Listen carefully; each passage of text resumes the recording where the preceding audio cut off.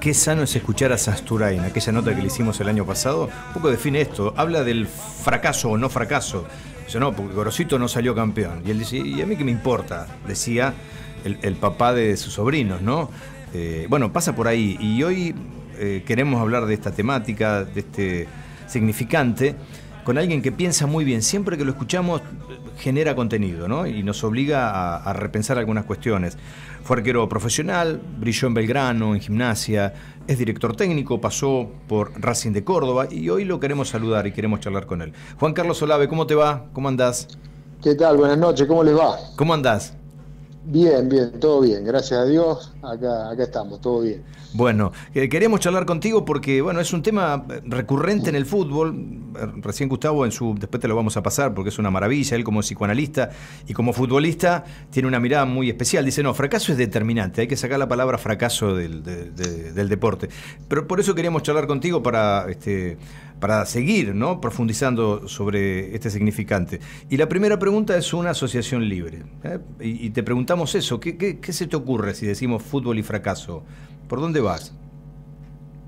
A ver, yo creo que, coincido con, la mirada esa. Lo que pasa es que un poco el, tema del fracaso lo instala una sociedad demasiado exitista como es la nuestra, ¿no? Eh, yo siempre digo lo mismo, eh, hace, o hablando con amigos la otra vez, las discusiones, donde hoy la selección argentina nos ha brindado tanta, tantas alegrías, eh, pero hace no mucho tiempo atrás a los jugadores los trataban como los, los, millonarios que venían de Europa y que no les importaba nada. Y hoy esos mismos jugadores que sí dando buenos contratos son mirados con, una simpatía y una empatía total porque nos han hecho felices ganando un campeonato. Entonces creo que el, tema del fracaso va por ese lado también, una, una sociedad demasiado exitista que lo único que acepta es, ganar, o al único que acepta es al ganador. Y no se da cuenta que el ganador es solo momentáneo, ¿no? Entonces, a lo mejor hay un ganador en un momento, pero después puede ser un fracaso según su concepto en todo el resto. Entonces, habría que se debería, tener un análisis mucho más profundo. Yo coincido con que la, la palabra fracaso no, no va ni con el fútbol, ni con nada en la vida, porque creo que todos le ponen empeño para lograr objetivos, y en el fútbol sobre todo, pero gana uno solo. Entonces no puede haber, eh, en este caso, en primera división, por ejemplo, 27 fracasados y, uno, y un solo ganador, ¿no? Creo que todos son parte de un proceso, a cada uno le lleva un proceso, y bueno, uno más tiempo, otro menos todos seguramente llegarán a objetivos que, bueno, hablan de, que han caminado, de que han construido, que han transcurrido, eh, momentos buenos y malos, que al fin y al cabo lo que te hace crecer. Entonces, ya lo decía Bielsa, ¿no? Creo que en la derrota, y tienes una gran verdad, que en la derrota uno aprende mucho más que en el éxito, porque el éxito deforma, ¿no? Eh, Juan Carlos Gustavo te saluda, ¿cómo estás? ¿Qué tal? ¿Cómo te va? Eh, vos decías eh, una sociedad existita y comparto. Y también no es una sociedad donde hay cierta necesidad de arrastrar al futbolista todo el tiempo a, la frustración que, trae el que, el que determina esa palabra fracaso, que decir, eh, eh, no, es, una, palabra que, conlleva cierta, cierta frustración del que, la, del que la dice, porque yo en el, en el ámbito del fútbol, entre futbolistas, no se escucha esa palabra casi nunca. y cuando salís del ambiente, eh, es común esa palabra, ¿no? Entonces lo que yo digo es, no es como querer traer al, al, al, plano de, de, la frustración de quien la dice eh, al ponerle esa palabra, como decir, bueno, somos todos un poco fracasados, quiero decir, ¿no? Mira, eh, coincido con, con, lo que vos decís de la frustración del que, del que provoca eso, ¿no? Yo creo que el que trata de instalar el fracaso en otro es alguien que no ha tenido la capacidad de luchar contra uno mismo para poder superarse, ¿sí? Entonces la única manera de poner o de ponerse a la altura de ese a lo mejor está atacando es bajándolo, ¿no? Queriéndolo instalar en el fracaso a ese que hoy está luchando por ser mejor cada día. Entonces, si vos luchas por ser mejor cada día, ¿cómo vas a ser un fracasado, no? Eh, por, ahí, por ahí la palabra fracaso le instala ese que no es capaz de luchar contra uno mismo cada día para ser mejor, que no se desafía a ser mejor. Ahí, ahí sí creo que correspondería a lo mejor, eh, no sé si fracaso, pero a lo mejor yo diría un frustrado, ¿no? Entonces muchas veces ese frustrado es el que intenta ponerse a la altura de ese que lucha y que lucha, bajándolo al nivel de él. Pero bueno, lo, dice sentado en un sillón, mirando desde afuera y no tomando riesgos como hace seguramente ese, en este caso, un futbolista, ¿no? porque a ver, todo, todos hablan mal de los este, mirá, no sabe patear, está todo el día con la pelota, no sabe tirar un centro y demás. Bueno, y vos estás sentado de este lado mirándolo tranquilo, pero ese muchacho está día a día tratando de mejorar. Mira, el gol que se comió ese arquero, que si no, bueno, pero digo, eh, la palabra fracaso, digo, vos, eso no se, esto que te digo, nunca en una charla técnica, antes de un partido, una final, el técnico va a decir, si no ganamos, fracasamos. o ningún, ningún compañero va, a decir algo de eso, aún después de haber perdido, quiero decir, ¿no? La, la final más importante de su carrera. Por eso digo que es un término que no tiene nada que ver con el ámbito del fútbol, que no se escucha dentro del ámbito del fútbol. No vas a un entrenamiento, no, vas a una charla, no vas a una conversación ni entre futbolistas ni entre futbolistas y entrenadores y esa palabra circula. No, no, de ninguna manera. A ver, es un, es un objetivo cumplido, ¿no? El tema, a ver, ni siquiera el éxito es verdadero. Claro. Porque el éxito todo lo, todo lo asemejan al momento de conseguir el objetivo, de levantar la copa, porque para algunos el éxito es eso, ¿no? Levantar la copa y nada más. Escuchaba recién lo que, lo que decían de Gorosito y era una gran verdad. El éxito en realidad está en el camino recorrido, cómo recorriste ese camino, porque seguramente en ese camino superaste un montón de obstáculos, ¿no? Difícilmente haya equipos, o ha habido muy pocos equipos que han tenido un, caminar en un torneo eh, ¿no? Digamos, donde, donde no, no, no, no hubo tropiezos, ¿no? Eh, eh, generalmente eh, vos te levantás y superás escollos, y superás eh, barreras y te superás vos mismo y, a veces, a veces, conseguís el, objetivo. Por eso digo que el, éxito es el proceso, no el momento final. Aparte, sería muy triste que el éxito fuera el momento final, porque sería un momento efímero, ¿no? Es lo conseguí, ahí y nada más. Y después empieza lo otro y se terminó el éxito. No, no, no. El éxito es la construcción de un, equipo, en este caso, que encuentra una identidad, que encuentra un camino, que encuentra una manera, que encuentra una, una, unión de grupo y que al fin lo lleva al objetivo. Y el objetivo puede, los objetivos pueden ser variados, ¿no? Porque también, eh, eh, si vos decís en España, es difícil competir contra los dos más grandes. Entonces habrá otros equipos que de acuerdo al, material que tienen, el, éxito está en otro punto. Pero para el que está de afuera, siempre el éxito es, es para el campeón, digamos, para el ganador. Eh, con lo cual creo que tampoco es, es, es, una verdad el éxito, ¿no? Yo creo que el éxito está en aprender, el éxito está en mejorarse, el éxito está en superarse, el éxito está en hacer cosas eh, no comunes, ¿sí? O no normales para a lo mejor tu potencial, desafiando, desafiándote a hacer más. El éxito está en haber sufrido el camino, pero haber llegado a ciertos lugares donde vos querías, ¿sí? A ciertos lugares, no, no, no, siempre, porque todos queremos ser campeón del mundo, pero no todos podemos ser campeón del mundo. Y por eso no, no, vas a ser exitoso, sí, el campeonato del mundo es para algunos, pero a lo mejor hay, gente exitosa que ha llegado a, para algunos el éxito es haber jugado el fútbol. Y está muy bien que así sea, está muy bien que así sea, porque ha tenido una lucha interna él, o durante toda su, su carrera, su, su, infancia, su adolescencia, tratando de ser jugador de fútbol, y está bien, che, yo llegué a ser jugador de fútbol, ¿soy exitoso o no? Sí, pero no salí campeón nunca, no importa, sos exitoso porque lo que te propusiste lo conseguiste, seguramente con mucho esfuerzo. Vos sabés que antes de, la siguiente pregunta me acordaba de una figura un partido del fútbol local en Mar del Plata, Diego Villar, con un recorrido excepcional en primera división, jugador de selección convocado por Diego alguna vez, se retira en Mar del Plata, acá en la ciudad, vistiendo los colores de Independiente. Juega contra otro equipo y ahí aparece un futbolista menor que, que había hecho un recorrido menor que Diego y pegado al alambre olímpico sin poder jugar el partido, le gritaba fracasado a Diego Villar. Y viste, Diego lo miraba como diciendo, y entonces vos que estás ahí, ni siquiera te convocó el técnico para jugar contra este fracasado que está cerrando ya su carrera con tantos años de edad. Digo, esta cuestión, ¿cuántas veces te, habrá pasado, no? Que, alguno que en su vida tajó una pelota te habrá dicho, bueno, usted es un fracasado, qué fracasado. ¿No? ¿Con qué liviandad se usa el término?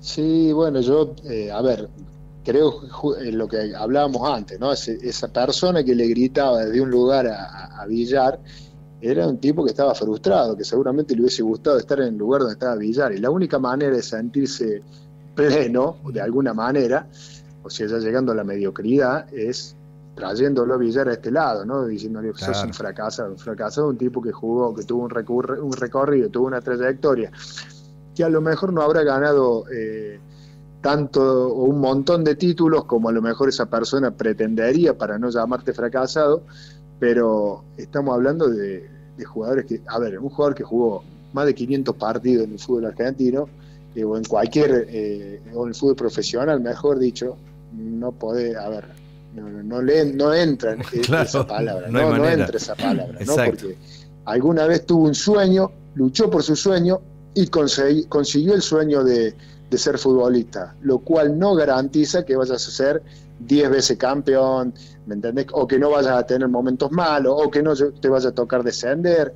Yo siempre pongo eh, como ejemplo, ¿no? Porque a mí eh, me sucedía con, el 7 a 0 que perdimos con Estudiantes de La Plata en gimnasia, ¿no? Yo fui el arquero, entonces, che, un resultado ilógico a lo mejor para, un, para, un clásico, y bueno, me marcó en cierta manera.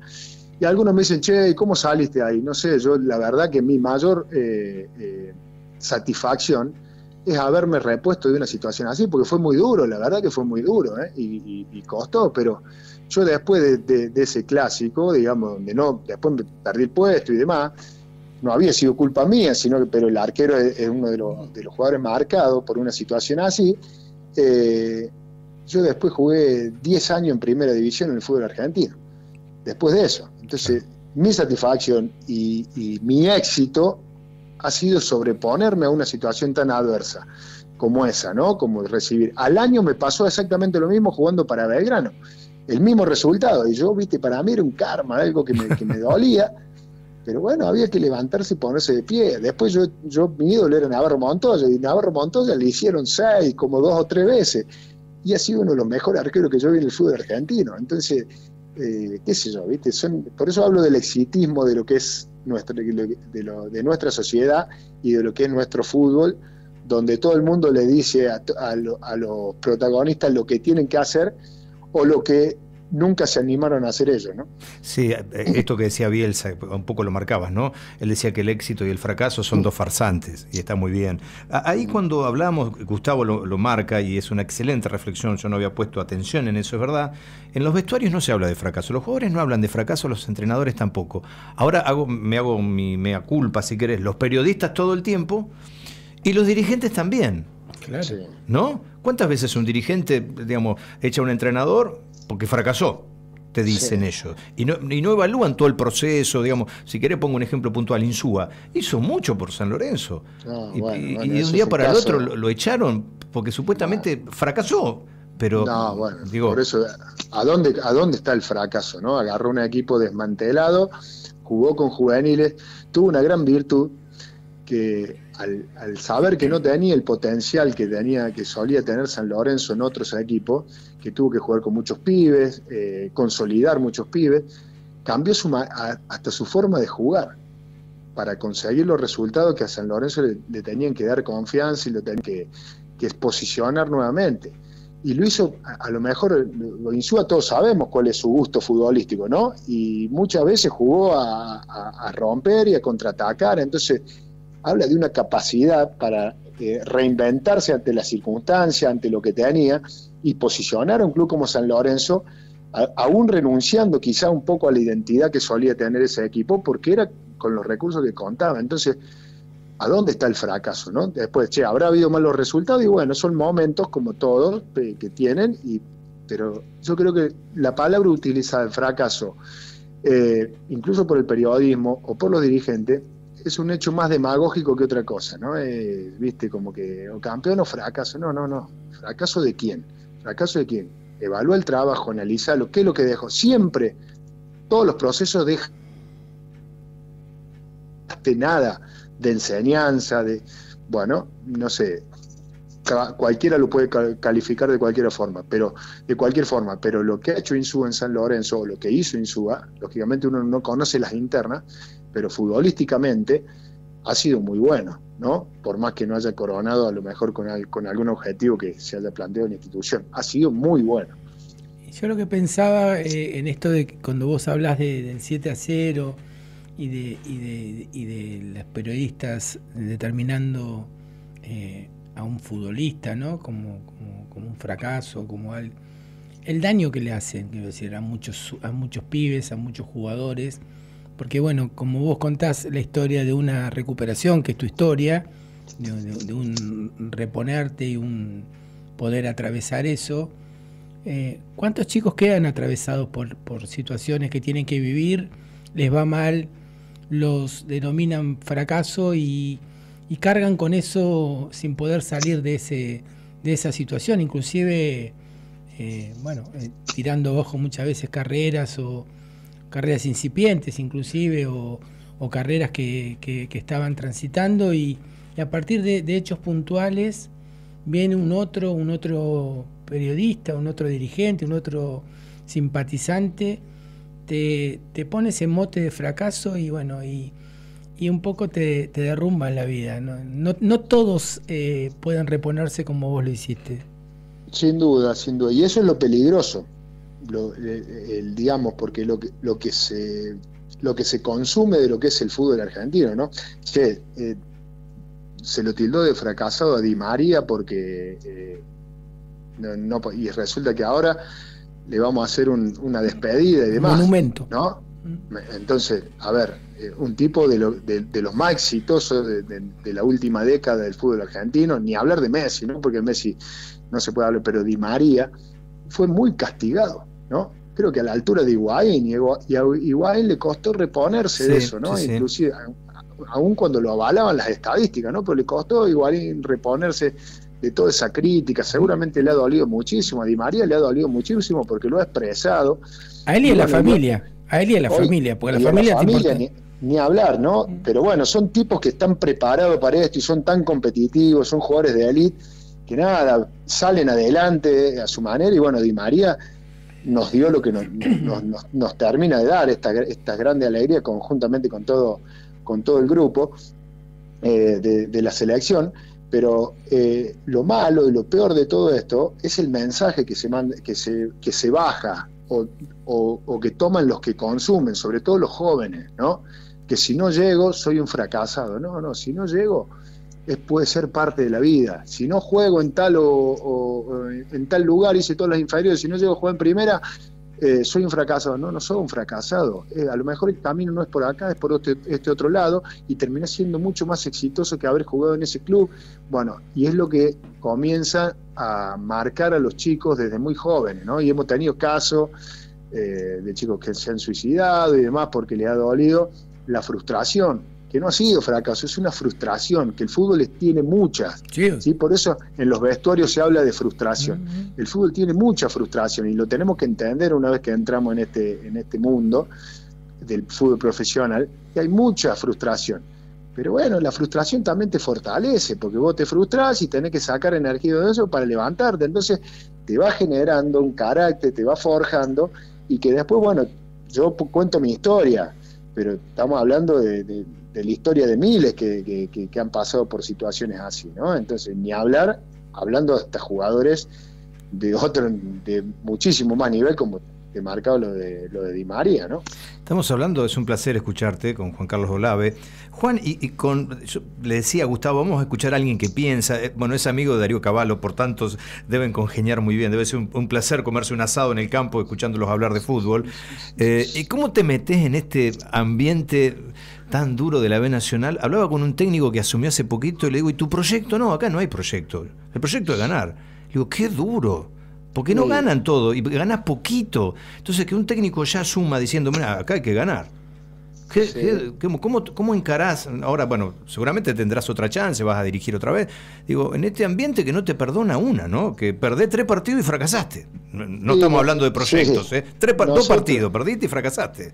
Sí, nosotros, a ver, nosotros somos tipo del fútbol y nada, y nos chocamos siempre contra un montón de situaciones pero es difícil que nos, que, nos muevan del lugar que nosotros amamos. ¿no? El, amor nuestro y el éxito nuestro es, estar en, el campo de juego, es la necesidad. Nosotros vivimos, vivimos con eso. ¿no? Yo la otra vez eh, eh, bueno, en, uno de los partidos que habíamos perdido, viene mi hijo charlándome, ¿no? Me dice, eh, tenés que ganar el próximo porque si no te echan. le digo, mira, esto en el fútbol pasa y en esta, en esta función que hemos tomado, si antes era, era duro el ser jugador, imagínate en esta, en esta función, pero le digo, ¿sabes que A mí no, no, no, no, no me importa, le digo, porque digo que pase lo que pase, para que pase lo que tenga que pasar, le digo porque... Eh, yo quise ser entrenador. Digo, después de ser futbolista no encontraba mi lugar. Y encontré en el entrenador dirigiendo Las Palmas, la Liga de Córdoba, volviendo a mis raíces, en las canchas de tierra y todo, dirigiendo con la misma pasión que a mí me, toca dirigir en, Nacional B, por ejemplo. Lo vivo de la misma manera el fútbol. Y le digo, yo encontré que este era mi lugar en esta etapa de mi vida en el fútbol. Y quise ser entrenador y lo logré, lo logramos, lo que le decía a los chicos la otra vez cuando nosotros fuimos, fuimos un cuerpo técnico que se, eh, nos, conocimos en Belgrano y formamos, con Darío soy amigo de toda la vida, pero después eh, con, el profe lo conocimos en Belgrano y demás, y nos habíamos propuesto hace cuatro años atrás trabajar en el fútbol profesional como cuerpo técnico, ¿no? Que no es fácil, ¿eh? No es fácil ingresar. Y yo estaba dirigiendo eh, el regional amateur, llegamos a la final por ascender al Federal A y me surgió la chance de, un club como Racing, de la importancia de Racing. Eh, y cuando terminamos, cuando nos vinimos, que nos fuimos por, por algunas diferencias que teníamos ahí, eh, bueno, pues la campaña no había sido mala, lo habíamos agarrado último al, equipo y, estábamos a un punto del reducido. le digo, muchachos, ¿se acuerdan que hace cuatro años nos propusimos ser entrenadores de, del el fútbol profesional, de primera división. Bueno, nos tocó dirigir un club como Racing de Córdoba. Digo, entonces, tenemos que estar contentos. Más allá que hoy tuvimos que tomar una decisión de irnos, digo, tenemos que estar contentos porque hemos dado un paso hacia adelante en lo que nosotros buscábamos y anhelábamos. Y uno buscaba por un camino, el otro por otro, pero sabíamos que nos íbamos a encontrar algún día dirigiendo un equipo de primera. Y bueno, y así fue. Entonces, nada, esas son las cosas que yo le marcaba a mi hijo. Mirá, eh, lo importante es que vos luches por lo que querés, ¿sí? Vos tenés que luchar por lo que querés.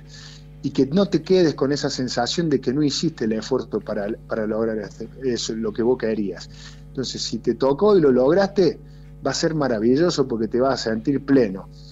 Y si no lo lograste, tenés que tener la tranquilidad de que entregaste todo. Siempre, todo, para todo en la vida, no solo en el fútbol, tiene que ser así. Porque es donde uno encuentra la tranquilidad, ¿no? Que a veces cuando no haces algo o dejaste de hacer algo y te queda siempre ese sabor amargo, ¿no? Y, en esto, en esta, en esta profesión que, abrazaste ahora nueva, de entrenador, eh, bueno, acostúmbrate porque ahí sí todo el tiempo se usa la palabra fracaso. Con un futbolista es más difícil que la usen porque como el futbolista te puede tapar la boca al partido siguiente, entonces se cuidan un poco, pero en el entrenador, eh, un poco por, por, por, cuestionarlo, otro poco por muchas veces porque, porque hay una cuestión personal o porque hay un interés en que venga otro entrenador. Rápidamente la palabra fracaso surge en, la boca del periodista que no te quiere o que, o que, o que tiene otra intención. Entonces, eh, eh, no tiene que ver ni con lo deportivo, ni con lo que hiciste vos en la cancha, ni lo que dejaste, sino tiene que ver con esta cosa de querer derrumbar al otro, ¿no? Totalmente, pero ¿sabe cuál es el problema? El, problema no es el que lo dice, ni, ni el periodista, ni el hincha, ni el que lo mira de afuera. El problema es si nosotros lo tomamos y, aceptamos lo que dicen. Yo te puedo escuchar, pero yo sé, tenemos que analizar si realmente, a ver, si yo no hice algo porque dejé de hacerlo, porque no me preparé, porque no trabajé, porque no eh, laburamos sobre el jugador, porque, bueno, a lo mejor te puede llegar a doler. Pero si vos sabes que hiciste lo que tenías que hacer, que laburaste, que le pusiste profesionalidad, que le pusiste pasión, que... Y bueno, y después eh, hay, resultados que no ya el entrenador no lo maneja, ¿no? Por eso digo, eh, el problema no está en, quién, en, lo que se dice, sino está en que si nosotros lo incorporamos lo que dicen, ¿no? Entonces, por eso en esto tenés que ser un poco, eh, digamos, tenés que apelar a la psicología también para saber qué es lo que te hace bien y qué es lo que te hace mal, qué es lo que tenés que tomar y qué es lo que no tenés que tomar. Porque también es malo cuando te dicen que sos un fenómeno, ¿sí? Porque ganaste tres partidos seguidos, ¿no? Entonces vos tenés que saber que no es cierto tampoco que sos un fenómeno porque ganaste tres partidos seguidos. Hay un técnico, por ejemplo, eh, de B Nacional que se fue, eh, por supuesto no vino, y hoy está con un equipo puntero y ganó 35 39 puntos, ¿me entendés? Entonces, che, en cuatro meses pasó de ser eh, malo a ser un fenómeno, no. Tenemos que saber que todo es trabajo, todo es producto del trabajo, cada uno tiene su forma, todos laburan parecido. Lo importante es la llegada que tengas con el jugador, ¿no? Y también es importante los recursos con los que cuenta un entrenador. Y tenés que saber y tenés que tener muy en claro cuando llegas a un lugar para qué está el equipo y hacia dónde, hacia dónde apuntas, ¿no? Porque a veces cometemos el error nosotros los entrenadores, yo puedo ser uno también porque soy muy optimista y, de generarnos expectativas demasiado grandes, lo cual después también te generan eh, frustraciones grandes. ¿no? El, tema está en desafiar a los jugadores a ser mejores para que hagamos lo que muchos piensan que no podemos hacer. ¿sí? Eso es desafiarlo, pero también tenemos que tener los pies sobre la tierra de hasta dónde podemos llegar. ¿no? Juan, ha sido un placer escucharte, ¿eh? la verdad, disfrutamos, aprendimos. Te queremos agradecer, ¿eh? este, la pasamos muy bien, espero que vos también. Yo también lo pasó muy bien, le agradezco, me encanta hablar de fútbol y les doy las gracias por, por haber dado, haberme dado este espacio. Bueno, te, te, mandamos un abrazo y la verdad que esta entrevista fue un fracaso. y bueno, ¿qué va a hacer? Eh? Seguiremos, la repetiremos, entonces la hacemos de vuelta. ¿ah? abrazo grande, Juan. gracias. Chao, chao. Abrazo, hasta luego. Chao, chao. Qué linda nota con Juan Carlos Olave, ¿eh? que sabíamos que íbamos a pasarla bien porque tipo muy pensante, muy reflexivo. Eh, ojalá tenga la chance otra vez de, volver a dirigir porque lo ama, ¿no? Ama